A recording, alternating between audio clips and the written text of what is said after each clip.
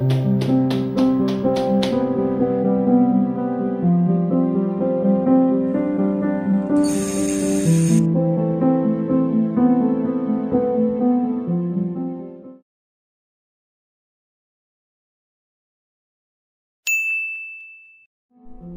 SMD sine wave inverter with APFC up to 3 kVA. Fully SMD design, including the SMD MOSFET, makes it light and compact. This is MEDI's sine wave inverter launched in 2005 and comparing that with the latest SMD sine wave inverter. You can also see the size comparison with a mobile phone. SMD PCB assembling is ideal for large quantities using pick and place. However, we also have the option for through hole PCB for smaller quantities.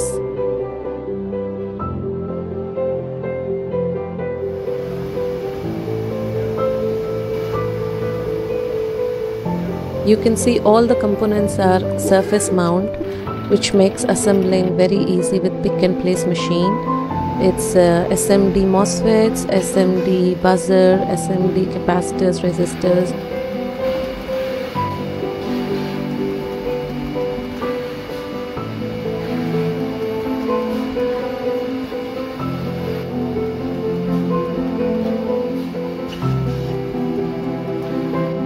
Since all the components used in this design are surface mount, the assembling will be very quick and easy.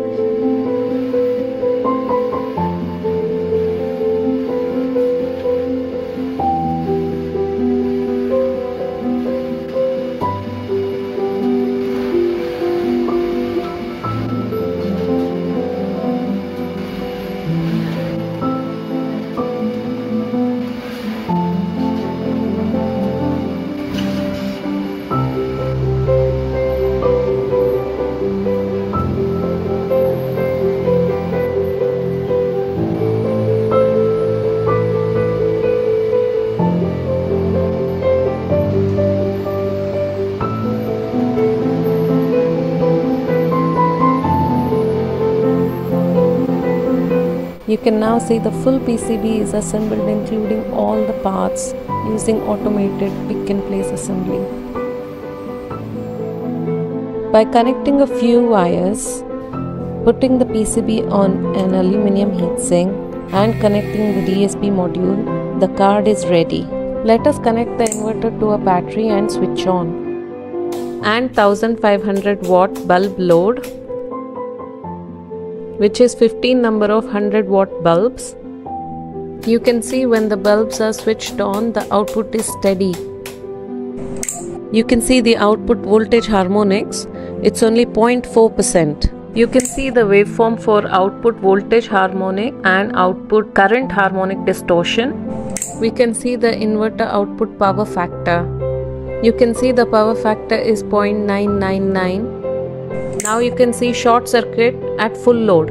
The output current during short circuit, the inverter will not trip during short circuit. Fold back current limiting during short circuit. The current came down to 15 ampere from 55 ampere. Now let us see the charging. This is active power factor corrected charging. You can see the charging power factor is 0.987 now let us compare the charging with an ordinary inverter in the market without APFC.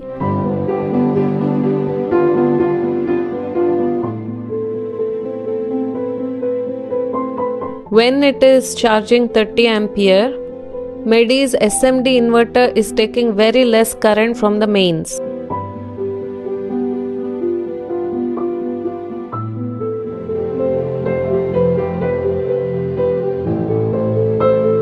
In ordinary inverters in the market, you can see there is a leakage from the mains to the battery. But in MEDI's SMD sine wave inverter, when it is connected to the mains, you can see the battery side, there is no leakage. You can even touch the battery. There is no shock. Let us switch on the inverter and do a load test. Now the inverter is on. AC is on. You can see the high starting current from the AC in the ammeter. After that the current came down and now settled at the running current. And along with that, let us add some bulb load. This is 1500 watt bulb load. Now the AC is on and the bulb load of 1500 watt is also added along with that. The total load on the inverter is 3000 watts. This is the graphics LCD that comes with the SMD sine wave inverter. You can see your company branding logo, you can see the time RTC is provided, battery level, uh, lithium ion, lead acid, lithium polymer, etc. You can see the warnings such as overload, overload, cutoff, short circuit, short circuit, cutoff, charging indication when the battery is charging, whether it is charging from solar, if you connect a solar charger. Here's how the fully assembled unit looks with the display. A mobile app is provided through which you can control and view all the parameters. You can use this to change the status of the unit or simply view the parameters in real time.